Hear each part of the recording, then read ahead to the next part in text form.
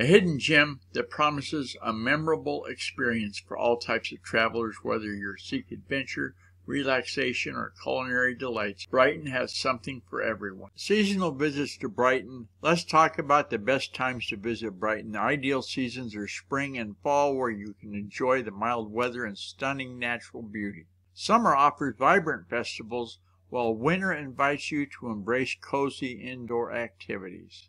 Next, discover the top attractions in Brighton. Start with the Brighton Oasis Family Aquatic Park, an excellent spot for families.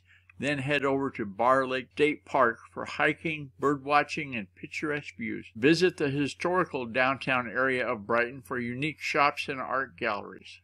And hey, Brighton, Colorado is packed with family friendly activities. Enjoy the local parks, engage in outdoor sports, or participate in community events that cater to all ages. The city also hosts seasonal festivals that bring the community together. The trip in Brighton will make you hungry, and the culinary experiences are diverse and delectable. Savor farm to table meals at local restaurants or indulge in international cuisines. Part of the plan is the place to stay, and Brighton, Colorado offers a range of options from cozy bed and breakfast to well known hotel chains. Choose a place that fits your style and your budget and make your stay comfortable. Planning that trip is essential. Research the local events, book accommodations in advance, and create an itinerary that balances relaxation and adventure.